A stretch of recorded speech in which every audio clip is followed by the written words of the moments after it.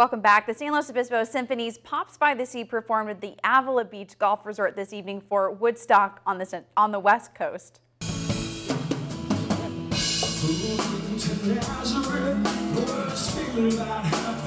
Pops by the Sea returned for the first time since it was last held in 2014. Music director Andrew Sewell led the symphony performance. The symphony featured a guest performance by Jeans and Classics. The outdoor concert highlighted classic rock music like Jimi Hendrix, Janis Joplin, and The Who to celebrate the 50th anniversary of Woodstock. The San Luis Obispo Symphony has been performing for nearly 60 years. They offer music education programs throughout the year to teach kids about music.